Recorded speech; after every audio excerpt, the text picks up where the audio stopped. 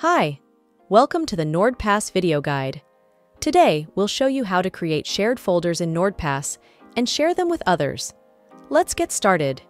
Shared folders is a feature that allows you to seamlessly share passwords and other items with members of your organization.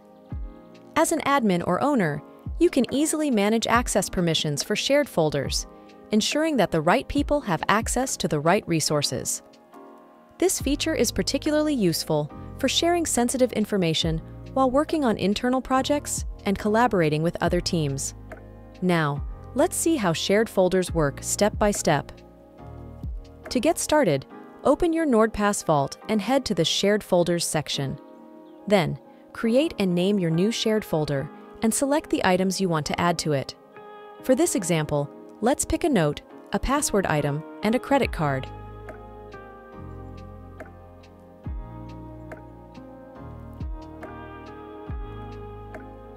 In the Shared folder, click the three dots and select Share. Type in the email addresses of the members and the names of the groups you want to share the folder with. NordPass will automatically suggest contacts as you type, making sharing even more efficient. Once that's done, choose which rights you want to grant. Your options are Can edit. These members can view, share, and update items kept in a shared folder. Can share. These members are allowed to autofill, view, and share the items from a shared folder. Can view. These members can autofill or view the items from a shared folder. Can autofill. These members only have the right to autofill, but not view the item details.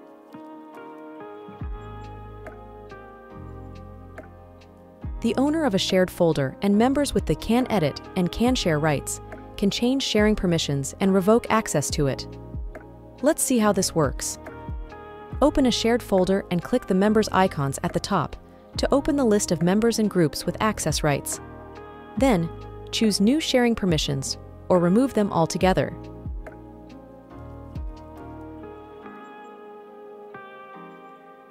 You can also transfer the shared folder's ownership to another member.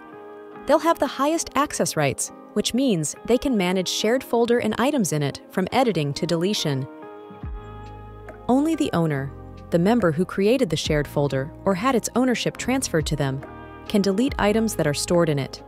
Keep in mind that deleting an item from a shared folder will not move it to trash, but will delete it permanently.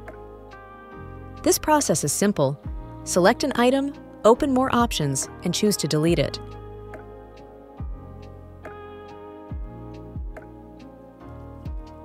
Congratulations!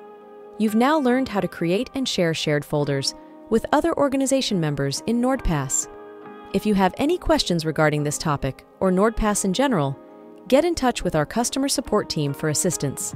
Stay safe